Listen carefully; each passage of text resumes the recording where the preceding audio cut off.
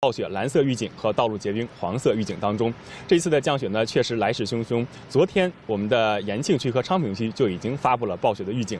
那么今天的北京主城区呢主要是中雪，但是呢像西部和北部山区呢将会迎来大雪，部分地区可能会有暴雪。由于这一次的降雪确实来势汹汹，而且呢持续时间相对较长，并且未来几天气温呢还是持续走低，本周末呢气温才会有略微一个回升。所以呢这几天尤其有心脑血管疾病或者是呼。吸。吸系统疾病的朋友们，尽量的要待在室内，而且呢，注意防寒保暖。